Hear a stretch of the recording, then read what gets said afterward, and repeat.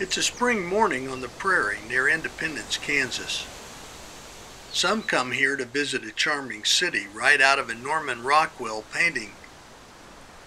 Some boat and fish nearby Elk City Reservoir.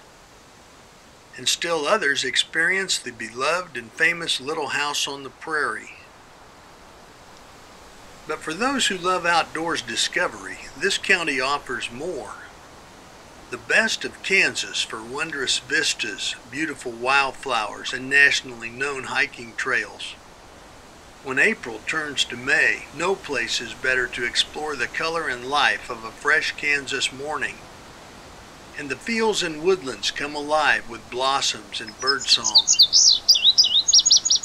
Hay meadows are swathed in the color of Indian paintbrush, and delicate shooting stars, both white and purple, nod in the slightest breezes.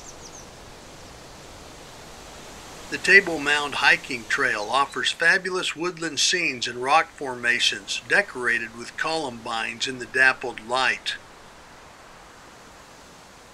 And colorful swallowtail butterflies visit trailside flowers to accent their beauty. Deer, birds, and other wildlife are abundant. Bring your cameras and binoculars to enjoy and remember this enchanting area.